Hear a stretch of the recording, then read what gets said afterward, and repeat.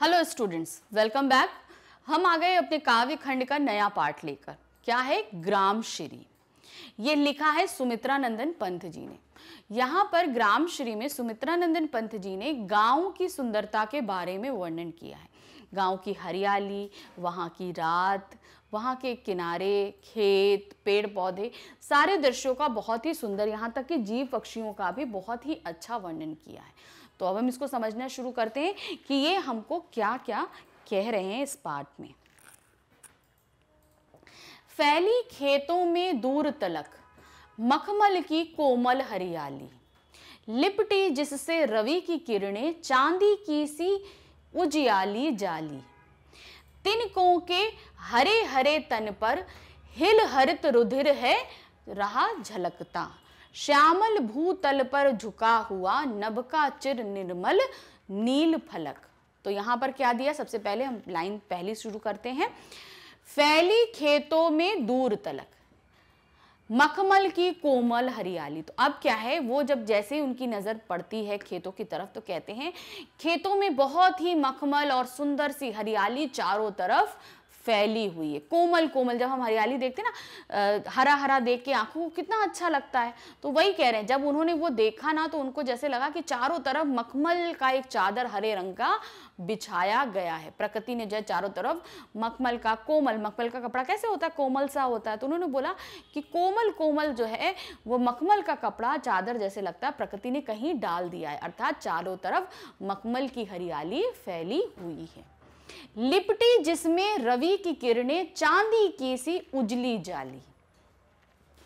तिनके के हरे हरे तन पर। तो अब क्या हुआ? अब जब सूरज की रोशनी इस हरियाली पर पड़ रही है, जब सूरज चमक रहा है तो सूरज की जो चमक है, वो इस हरियाली पर पड़ रही है और चांदी की सी जाली बन जाती है। मतलब कहीं जैसे ओस की बूंदें पड़ी हैं तो जहाँ पर रात में ओस की बूंदें पड़ने के कारण ओस जहाँ पर ठहरी हुई है तो जैसे सूरज की जो चमक उस पर पड़ती है तो क्या होता है, वो जो पानी है, वो चमक उठता है, और जहाँ नहीं है, वहाँ नहीं चमकता। तो उससे क्या हो रहा है, कहीं चमक हो रही है, कहीं चमक नहीं हो रही है।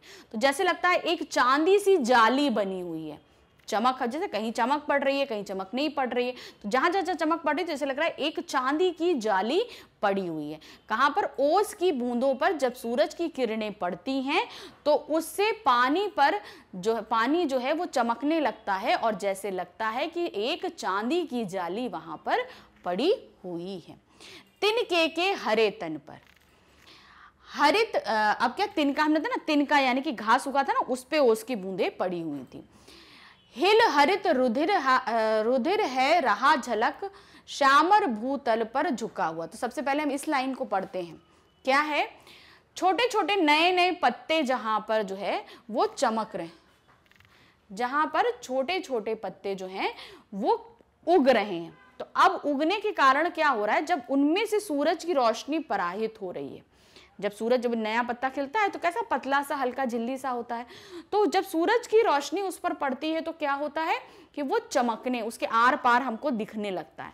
और उसमें से उसकी पतली पतली रेशाएँ, जैसे लगता है कि नसें हैं उसकी, पत्ते की नसें हैं। तो जैसे ही लगता है तो जैसे लगता है उसका हरा खून जो है वो चमक रहा है। तो यहीं पर दिया है ना, हिल हरित रुधिर है, रहा झलक।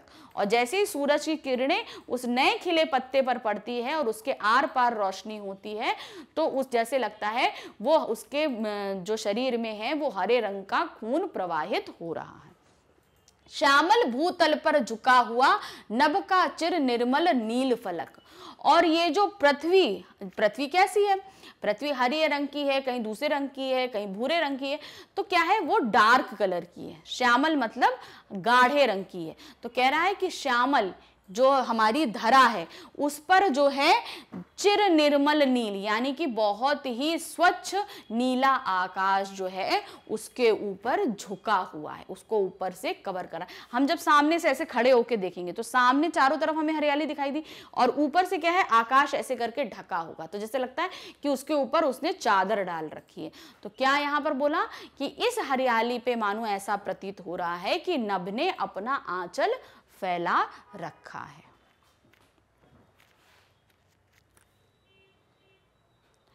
रोमांचित सी लगती वसुधा आई जो गेहूँ की गेहूँ में बाली। अरहर सनई की सोने की किड़किड़ियाँ हैं शो भाशाली उड़ती भीनी तैल रक्त गंध, फूली सरसों पीली पीली। लो हरित धरा से झाँक रही नीलम की कली, तीसी नीली। तो अब यहाँ से हम शुरू करते हैं। रोमांच सी लगती वसुधा, आई जौ गेहूँ में बाली।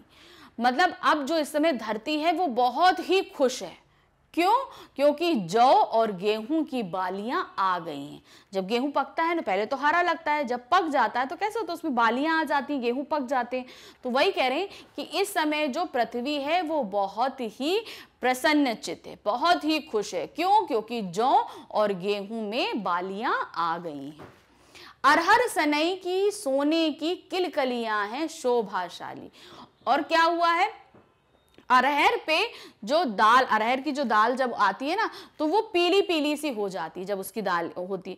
तो वहाँ पे होता है वो पेड़ पीला हो जाता है। तो कहते हैं, जैसे लग रहा है जब अरहर के पे जो है पक गई है, अरहर भी जो है वो पककर तैयार हो गई है कटने के लिए और वो पीली पीली है। जैसे लग रहा है प्रकृति ने जो है वो पीले रंग की करधनी बाँध रखी। करधनी मतलब कमल, कमर में जो बांधी जाती है ना, उसको करधनी बोलते हैं। जैसे लग रहा प्रकृति ने पीले रंग की करधनी बांधी हुई है, सोने की सोने की करधनी बांधी हुई है, और वो जो है, वो छुन छुन की आवाज़ आ रही है। अब जो पक जाती है ना, जब हिलती हवा से तो खड़खड़ खड़के आवाज़ आ रही है। तो जैसे लग रहा है कि उसने करधनी बांधी हुई है, और वो खड़खड़ करके आवाज़ कर रही है। उड़ती भीनी तैल रक्त गंध फूली, सरसों पीली पीली। और जो है, सरसों जो है, वो पककर तैयार हो गई है। और उसकी जो पीली पीली सुगंध, पीली पीली होके पक्के तैयार हो गई है, और उसकी जो सुगंध है, वो चारों तरफ़ वातावरण में तैर रही है। जैसे कि पानी के ऊपर तेल तैरता है। तो ये इन्होंने क्या बताया कि वहाँ पर चारों तरफ़ वातावरण में सरसों की भीनी भीनी सुगंध चारों तरफ़ फैली हुई है। लो हरित धरा से झाँक रही नीलम की कली और तीसी पीली। और अब क्या है? ये जो हरियाली चारों तरफ़ छाई हुई है, उसमें से बीच में नीलम का एक पौधा। नीलम के फूल होते हैं ना तो वो नीलम का एक पौधा और तीसी का एक पौधा उगा हुआ है। तीसी के कुछ पौधे और नीली जो है, नीलम के कुछ पौधे जो है, नीलम फूल के जो उगे हुए हैं। और यही सब नीले नीले दिखाई दे रहे तीसी का जो फूल होता है, वो भी नीला होता है और नीलम का फूल भी जो होता है नीला ही होता है। तो यहाँ पर क्या बता रहा है कि जो हरी धरती है, उस पर धीरे से झाँक कौन रहा है? नीलम के फूल और तीसी पर उगे हुए नीले नीले फूल।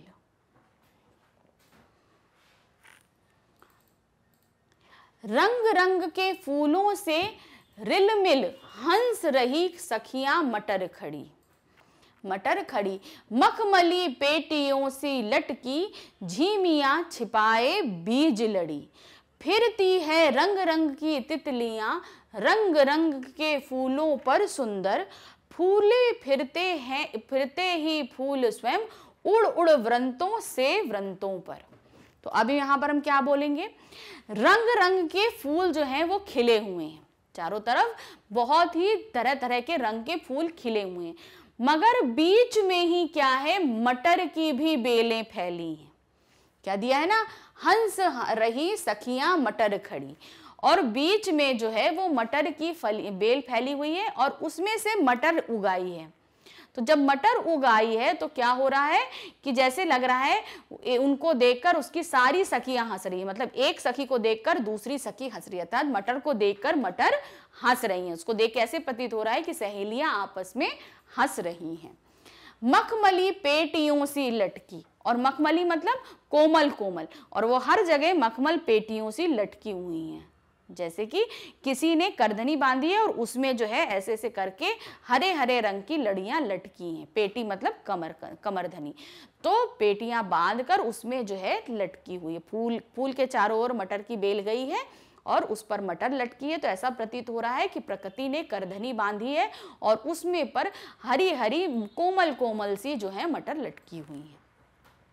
झीमिया छिपाए बीज लड़ी। और उसके अंदर क्या है? बहुत यानी झीमिया मतलब पतली पतली। पतली पतली परतें जो हैं, उसके अंदर लड़ियाँ छुपाए हैं। मतलब बीज की लड़ी छिपाए हैं। अर्थात जैसे लग रहा है कि उसके अंदर वो खुल जाएँगे तो होता है ना, जब हम मोती देखते हैं ऐसे करके तो वो उभरी उभरी सी प्रतीत होती है। मटर कैसी होती है? उभरी उभरी सी प्रतीत होती है। तो जैसे लग रहा है कि वो जो है, लड़ियाँ उसके अंदर मटर की लड़ियाँ छिपी हुई हैं। नेक्स्ट फिरती हैं रंग रंग की तितलियाँ। और चारों तरफ़ क्या है? रंग बिरंगी तितलियाँ उड़ रही हैं। रंग रंग के फूलों पर और विभिन्न रंग के फूलों पर विभिन्न रंग की तितलियाँ उड़ रही हैं। फूल ही फूल पर स्वयं। अब ऐसा प्रतीत हो रहा है कि फूल जो है, वो ही फूल पर बैठे हैं। अब रंग बिरंगे फूल भी हैं और रंग बिरंगी तितलियाँ भी हैं। तो जैसे लग रहा है, फूल स्वयं पर ही बैठे हुए हैं। अर्थात तितलियाँ भी फूल सी प्रतीत हो रही है और फूल तो फूल है ही है। तो जैसा, ऐसा देखने से लग रहा है कि फूल स्वयं फूल पर ही बैठे हुए हैं। उड़ उड़कर व्रंतों से व्रंतों पे। और ऐसा लग रहा है कि खुद ही फूल उड़ के एक फूल से दूसरे फूल पर जा रहे व्रंतों का मतलब फूल। यानी कि खुद फूल ही उड़ उड़कर एक फूल से दूसरे फूल पर जा रहे हैं। अब रजत स्वर्ण मंजरियों से लद गई आम्र आम्र तरु की डाली। अब क्या हुआ? अब जो है रजत स्वर्ण मंजरी से। यानी कि डालियाँ जो हैं, वो अब आम की बोरों से लद गई हैं। तो उसको कैसे बताया? जब बौर आते हैं तो कैसे रहते हैं? सफ़ेद सफ़ेद से रहते हैं ना तो वही उन्होंने बोला कि आम की जो डालियाँ हैं, ऐसा प्रतीत हो रही है कि उसके ऊपर जो है, सुने चांदी के रंग की रजत मतलब सफ़ेद सफ़ेद मोतियाँ आ गई हैं। रजत स्वर्ण मंजरी कहीं पर पीली और कहीं पर जो है सफ़ेद रंग की मोतियों से जड़ गई हैं। ऐसा लग रहा है आम के जो बौर आने के कारण आम के पेड़ की डालियाँ ऐसी लग रही हैं कि उनके ऊपर पीले और जो है सफ़ेद, यानी कि सोने और चांदी की मोतियों से जड़ गए हैं। हर झर रहे ढाक पीपल के पत हो रही कोकिला मत वाली। अब क्या हुआ कि अब पतझड़ का समय आ गया। अब पतझड़ के समय क्या है? पत्ते गिरने लगते हैं। तो उन्होंने क्या बोला? अब झड़ रहे हैं ढाक और पीपल के पत्ते। ढाक और पीपल के पेड़ के पत्ते गिर रहे हैं। और ये सब देखकर जो है कोयल मतवाली होकर खूब सुंदर गीत गा रही है। महके कटहल मुकु, मुकुलित जामुन। अब क्या है? जंगल में झर भेरी झूली, फूले आ, फूले आड़ू, नींबू, दामिड़, आलू, गोभी, बैगन, मूली। तो यहाँ पर क्या बोल रहे हैं? चारों तरफ़ जो है पके हुए कटहल की महक आ रही है। चारों तरफ़ पके हुए कटहल की महक आ रही है। और जामुन भी अभी अध कच्चे मुकुलत मतलब अभी अध कच्चे पूरी तरह से पके नहीं है। तो और जामुन के पेड़ पर जामुन जो है, वो अध कच्चे लगे हुए हैं। जंगल में झरबेरी फूली है। झरबेरी होती ना छोटे छोटे से होती है लाल लाल सी। तो जंगल में क्या है, झरबेरी की झालियाँ जो हैं, वो फल गई हैं। उन झरबेरियाँ आ गई हैं। और चारों तरफ़ विभिन्न तरीके के फल और सब्ज़ियाँ लगी हैं। तो वो सब्ज़ियाँ और फल कौन से हैं? आड़ू, नींबू, अनार, आलू, गोभी, बैगन और मूली। तो चारों तरफ़ आलू आड़ू, नींबू, अनार, गोभी, आलू और नींबू जैसे फल लगे हुए हैं। पीले मीठे अमरूदों में अब लाल लाल चित्तियाँ पड़ी। पक गए सुनहरे मधुर बेर, आवली में तरु की डाल जड़ी। लहक लहक पालक, महक महक धनिया, लौकी और सेम फली फैली। मखमली टमाटर हुए लाल, मिर्चों की बड़ी हरी थैली। तो अब यहाँ क्या कहते हैं? पीले मीठे अमरूदों में मतलब अब क्या है, अमरूदों के पेड़ों में जो अमरूद लगे हैं, वो जो पीले हैं और मीठे हैं, उन पे क्या हो गया है, लाल लाल की चत्तियाँ पड़ गई, लाल लाल छोटी छोटी सी चित्तियाँ पड़ गई हैं। और ये चीज़ बता रही हैं कि अमरूद अब पककर तैयार हैं खाने के लिए। तो मीठे मीठे आम, अमरूद, आम में जो है क्या हुआ सॉरी अमरूद में पीले रंग की चित्तियाँ पड़ गई हैं और वो अब जो है, अब वो खाने के लिए तैयार है। आंवली के तरु की डाल जड़ी और आंवले के पेड़ पर जो है वो आंवला फल गया है। और ऐसा लग रहा है वो जैसे फल जाता है ना तो वो आंवला तो गोल गोल होता है छोटा छोटा सा। तो आंवले की डली जब फल गई तो जैसा लग रहा है कि उसकी डाली को किसी ने मोतियों से जड़ दिया है। हरी हरी मोतियों से, हल्के हरे रंग की मोतियों से किसी ने आंवले की, पेड़ की डालियों को जड़ दिया है। लौकी और सेम फली फैली और चारों तरफ़ लौकी की बेल और सेम फली फैली की बेल फैली हुई है और उसमें लौकी और सेम लग चुकी है। मखमली टमाटर हुए लाल और जो कोमल कोमल से जो टमाटर थे, जो हरे हरे से, अब वो लाल हो गए। कोमल कोमल टमाटर क्या है? वो पककर लाल हो गए हैं। मिर्चों की बड़, बड़, बड़ी हरी थैली और मिर्चों के पौधों पर मिर्च जो है वो लदी हुई जैसे लग रहा है कि एक थैली जो है पेड़ों पर लटकी हुई है। चारों तरफ़ मिर्च ऐसी फैली हुई जैसे लग रहा है चारों तरफ़ मिर्च की थैली लटकी हुई है।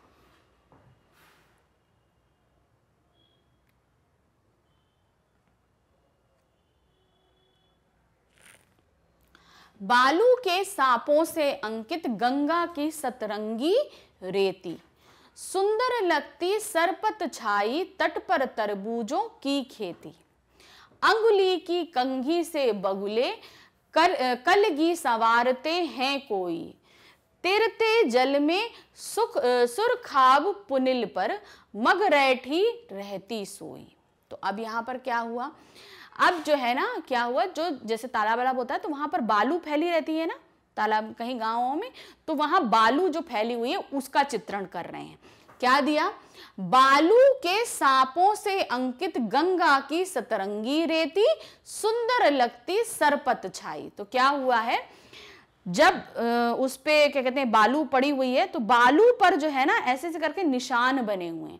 तो जैसे लग रहा है, उस निशान पे जब तो जैसे लग रहा है कि वहाँ से अभी कोई सांप रेंग कर गया है। तो बालुओं पर जो लहरियाँ बनी हुई हैं, जैसे लग रहा है कि वहाँ पर अभी कोई सांप लहरा कर गया है। गंगा की सतरंगी रेती। अच्छा मतलब वो गंगा की जो रेती है, उस पर मानो ऐसा बालू जो रेती है, उस पर क्या लग रहा है? सुंदर लगती सरपत छाई, यानी कि जब उस पर सूरज की किरणें पड़ रही हैं तो वो और चमक रही है। सरपत रेती बने ना चमक रही। तो जब वो जो टेढ़ी मेढ़ी गंगा की जो रेती जिस पर जैसे लग रहा है सांप रेत कर गए जब उस पर सूरज की किरणें पड़ती हैं तो ऐसा लगता है वो चमक रही है। तो बहुत ज़्यादा चमकने लगती है। तट पर तरबूजों की खेती, अंगुली में कंघी के से बगुले कलगी सवारते हैं कोई। और तट पे पास में ही क्या है? गंगा के तट के किनारे ही वहीं पर तरबूजों की खेती होती है तो वहाँ पर चारों तरफ़ तरबूजे फैले हुए हैं। अंगुली की कंघी से बगुले। कलगी सवारते हैं और वहीं पर जो है बगुले बगुले जो हैं वहीं पर खड़े हुए हैं। और अपनी जो जो है पैर है, पैर से अपनी कलगी को सवार रहे हैं ऐसे ऐसे करके सवार रहे हैं। तो जैसे लग रहा है कि कंघी से बगुले जो हैं, कंघी से अपनी कलगी को झाड़ रहे हैं। ऐसा प्रतीत हो रहा है। मानो बगले जो हैं, वो कंघी से अपनी कलगी को सवार रहे हैं। तिरते जल में सुरखाब पुलिन पर मग रैठी रहती सोई। तो अब क्या है? जो जल तैर रहा है, अब गंगा के नदी का जो जल तैर रहा है, उस पर जो है सुरखाब और पुलिन पक्षी तैर रहे हैं। मतलब उस पर तैर के मज़ा ले रहे हैं। पक्षियों के नाम होते हैं ये, सुरखाब और पुलिन पक्षी जो हैं, उन पर तैर रहे हैं। और मगरैठी रहती सोई, और पास में ही मगरैठी पक्षी जो है, वो सोई हुई है। मगरैठी भी एक पक्षी का नाम है, वो क्या है, वो पास ही तट पर सोई हुई है।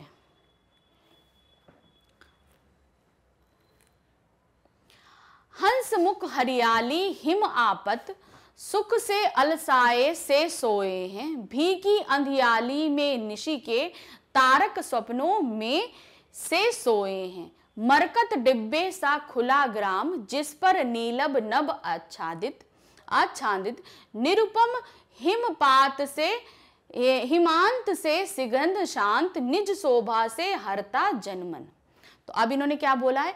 हंसमुख हरियाली, हिम आपत, सुख से अलसाए सोए हैं।